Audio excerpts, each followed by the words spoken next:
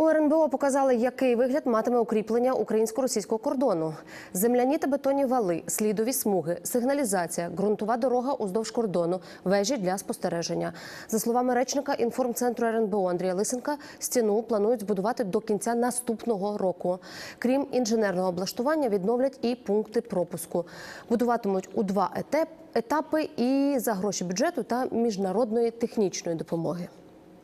На першому буде облаштовані ділянки, розташовані поза зоною активних бойових дій в межах Чернігівської, Сумської, Харківської областей, а також частково Донецької та Луганської.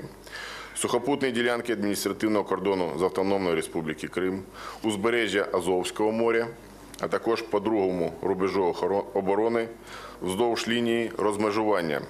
На другому етапі після роззброєння незаконних формувань та поновлення лінії кордону передбачено облаштування решти ділянки в межах Донецької та Луганської областей.